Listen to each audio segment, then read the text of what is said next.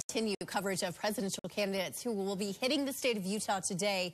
Andrew Wittenberg live in Chopper 5 this morning with an exclusive look at all of the venues where three candidates will be today and then one visiting tomorrow as well.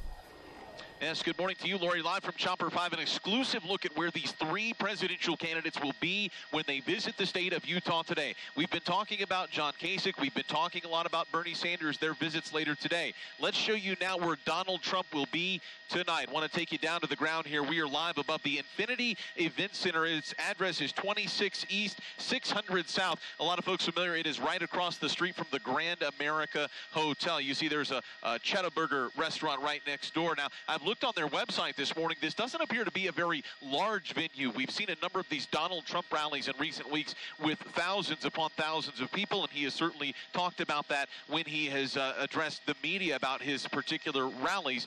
We do know this event is rather small. It is almost a bit of a, a nightclub, if you will, uh, and it is a, a, host for a number of concerts and small private events as well. That's what we sort of know about this Infinity Infinity Event Center right across the street from the Grand America. We also know that there is a planned protest protest uh, for one hour before the Donald Trump rally. That protest will begin at 6 o'clock at Washington Square, which is not too far. As you look live to the pool area and the Grand America Hotel, this will uh, give you a perspective of just how close Washington Square is, just about a block and a half away, right across the street uh, from the uh, one of the uh, courthouses here in downtown Salt Lake City, right at the uh, city offices where the city council meets, and the old library building there at Washington Square. That's where that protest will be at 6 o'clock tonight.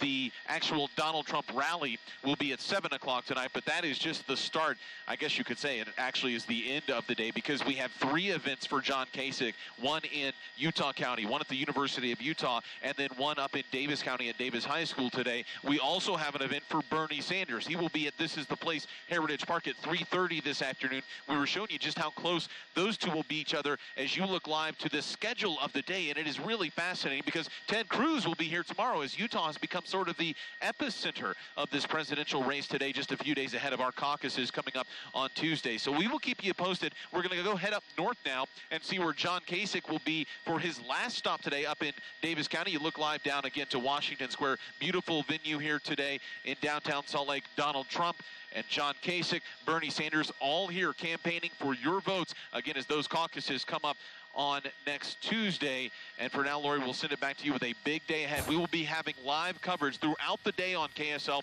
when some of these presidential candidates are speaking, so stay tuned for that. All right, Andrew Wittenberg, live in Chopper 5 this morning. Andrew, thanks for that update. Meanwhile, right